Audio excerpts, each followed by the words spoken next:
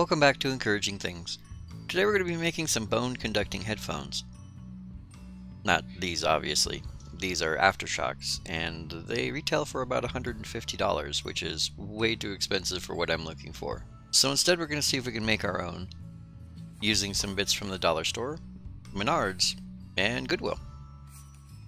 First thing we're going to start with are these Bluetooth earbuds from the Dollar Tree. Now in order to create our bone conducting headphones, I'm going to need some parts from these old iPhones. For this purpose I'm going to be using some iPhone 6s that I got from Goodwill.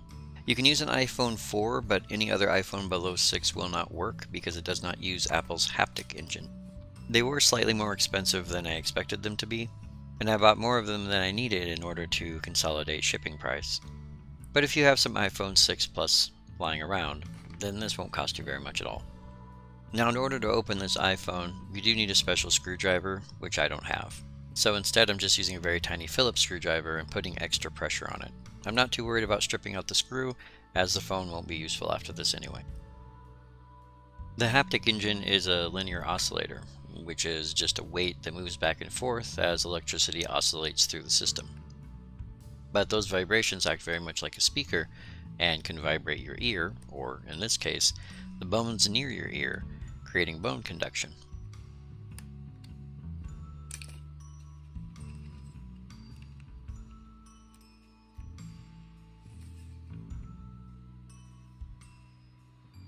And there's the piece that we need to pull out.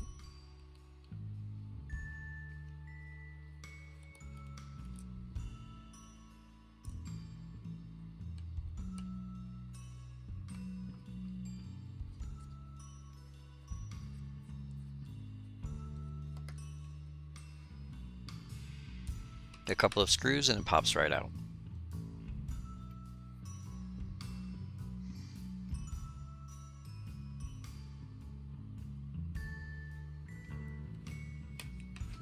And then I just put the phone back together so I can salvage some parts out of it later if I need.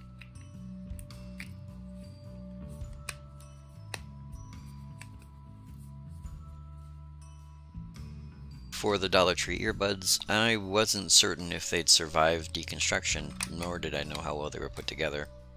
So I started off with just a bit of brute force, and was surprised to find out that they're only clamped together with a little bit of tension and absolutely no glue. This made it a lot easier to take out the parts I needed and replace them with what I wanted.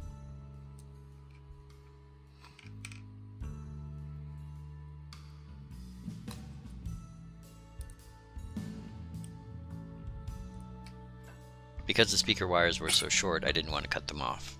So instead I used my soldering iron to loosen the solder around the speakers and then pull the speakers out separately.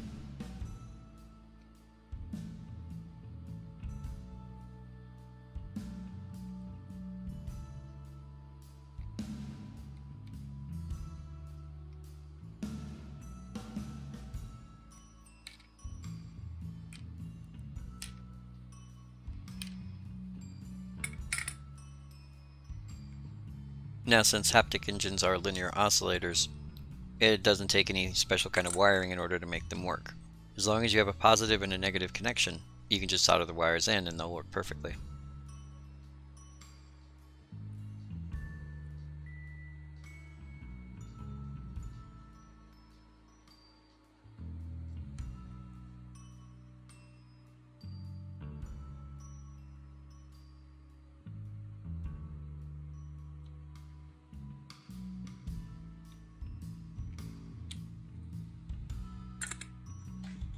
After everything was soldered into place, I wanted to get the caps back on, but I didn't want to desolder the haptic engines.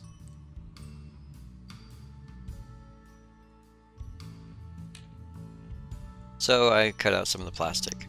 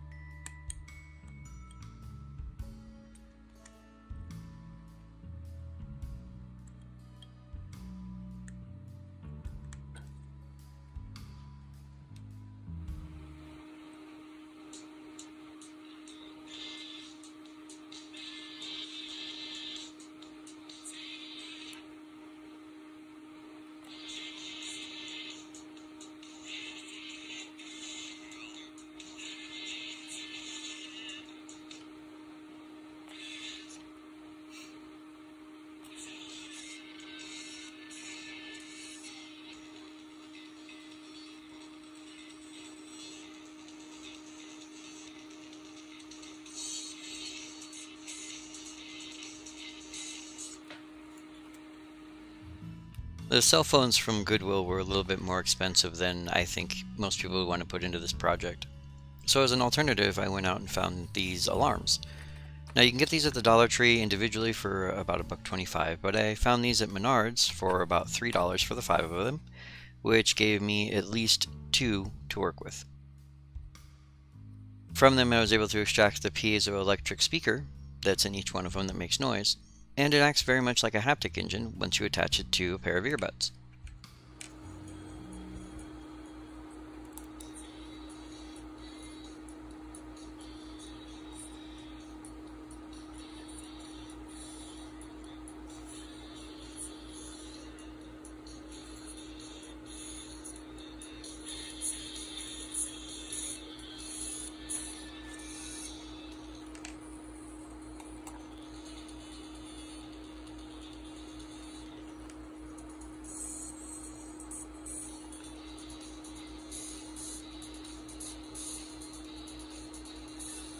So how did they turn out?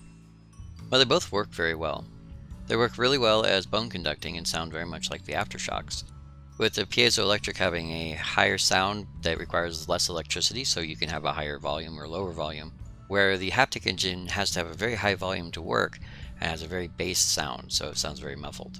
In order to make them into bone conducting headphones, you do have to press them against your head, which I did buy a headband from the Dollar Tree in order to mount them, but I have not done that yet, as my ultimate goal would be to have them set individually behind each ear as if they were individual headphones or earbuds. But I've not figured out a way to do that yet. If you have any suggestions, please feel free to let me know in the comments. And as always, I encourage you to go out and try new things, even if someone's already done it before. Because you can go out and buy something like an AfterShokz really easy, but you can then go to the Dollar Tree and make your own if you want. So once again, thank you all very much for joining, and I'll see you next time.